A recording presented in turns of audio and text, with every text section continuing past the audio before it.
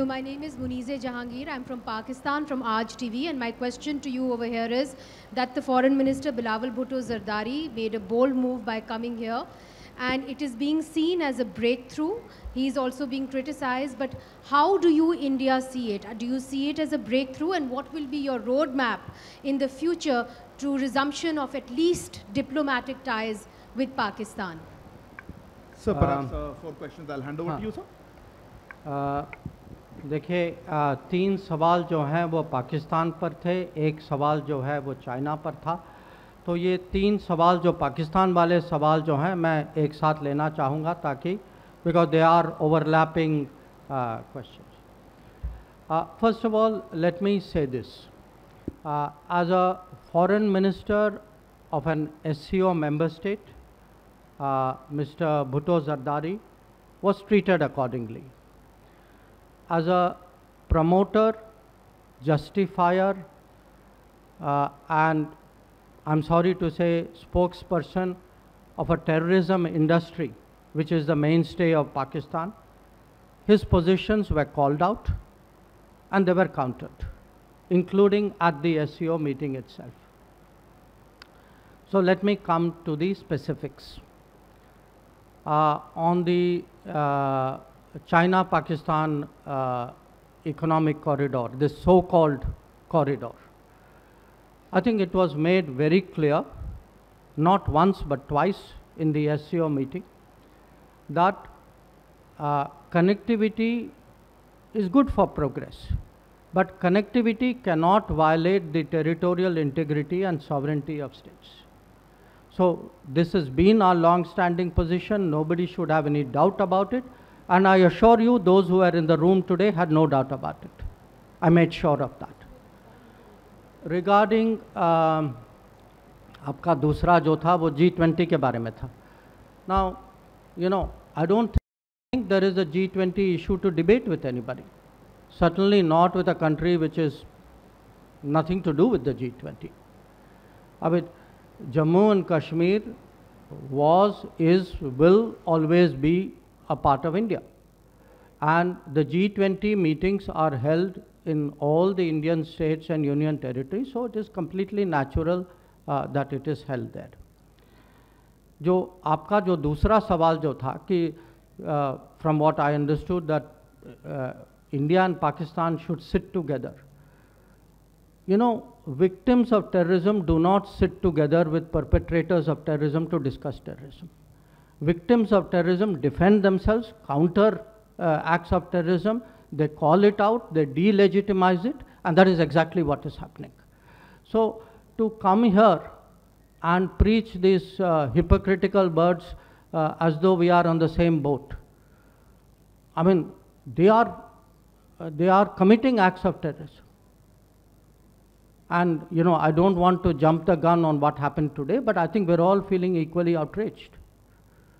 So, uh, so I, I think, I mean, let's, let's be very, very clear on this. You know, on this matter, the terrorism matter, I mean, I, I would say uh, Pakistan's uh, credibility is depleting even faster than its forex reserves. So, so you know, let's let's be clear what this is about. Uh, on uh, your question, uh, you know, is this a breakthrough?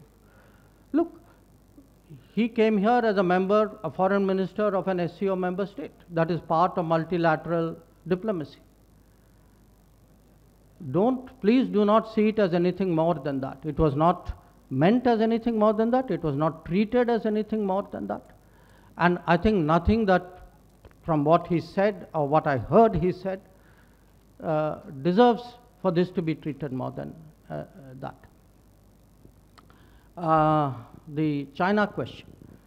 Um, look, uh, my understanding uh, of uh, what the Chinese said, I, I think they used the word stable, if I'm not mistaken. I, I, I don't think uh, that's the issue. I think the issue is that uh, there is an abnormal position in the boundary areas, uh, border areas, uh, along the boundary. Uh, and uh, we uh, had a very frank discussion about it. it's not the first discussion. I had spoken to uh, Foreign Minister Qin Gang on the sidelines of the G20 as well. Uh, so uh, we have to take the disengagement process forward. And I have made it very clear, frankly, publicly as well, and my, you know, what I say within the room is not different from what I say outside, which is that India-China relations are not normal and cannot be normal if the peace and tranquility in the border areas is disturbed. I, you know, I've been very, very clear about it. I've been very consistent about it. And I have not changed my position uh, on, at this meeting either. Thank you. So, uh, listen, before, in the interest of efficiency, please do not repeat similar questions or try to come back to it. I think, um, so I'll take fresh questions on that. Maha? Yeah. Uh, Sir Maha Siddiqui from NDTV. Sir, how does India view uh, being part of an organization which is now largely being viewed as an anti-West grouping? Yeah, Neeraj? One second. Sir Neeraj हूँ news eighteen India से। आपने कहा कि G twenty से पाकिस्तान का कोई लेना देना नहीं है लेकिन बिलावल भुट्टो ने यह भी कहा श्रीनगर में जो पर्यटन के मसले पर बैठक हो रही है वक्त पर ऐसा जवाब देंगे कि उनको याद रहेगा। इस स्टेटमेंट को भारत कैसे देखता है? देखिए स्पेसिफिक ऐसे क्वेश्चन नहीं हो पाएगा। थिंक जवाब दे चुके हैं मैं इसका भी जवाब दूँगा। करिए। sir, please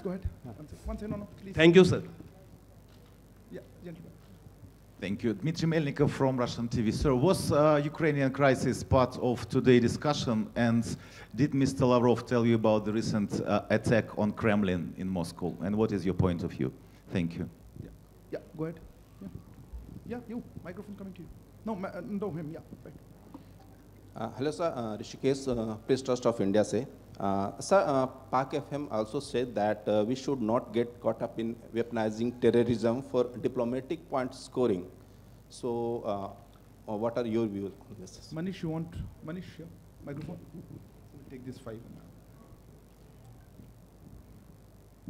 Sir, Manish Chand, India Writes Network. Just before his meeting with you, uh, Chinese uh, Foreign Minister was addressing a function in honor of Dr. Kotnis, uh, where he spoke about people-to-people contacts and finding a new path of peaceful coexistence.